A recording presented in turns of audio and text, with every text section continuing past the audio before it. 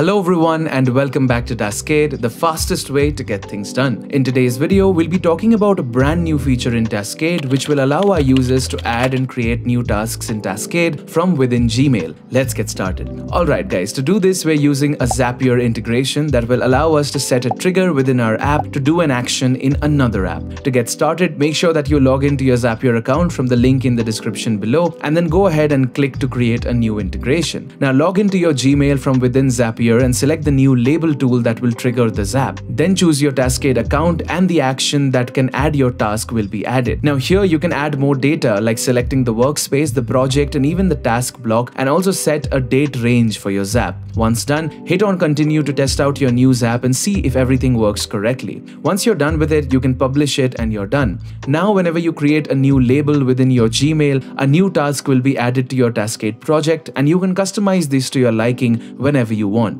Now we here at Taskade sincerely hope that this new feature makes your Taskade workflow faster and increases your personal or your team's productivity. We're also working harder to make Taskade more customizable and flexible, so we'd like to encourage all our viewers to head over to our feedback portal at feedback.taskade.com to suggest new features that you'd like to see in Taskade. Be sure to check out our YouTube channel and subscribe and also check out our socials for timely updates on Instagram, Reddit and Twitter and also leave a like and subscribe to this video for more videos like this and we'll be back with another video soon. Taskade. Simplify your productivity.